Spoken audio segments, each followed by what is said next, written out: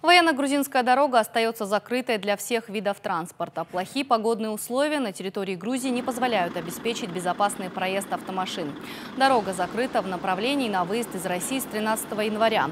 Более 300 людей сейчас стоят в очереди. Развернут пункт обогрева. Главное управление МЧС России по Северной Осетии настоятельно рекомендует воздержаться от поездок в данном направлении.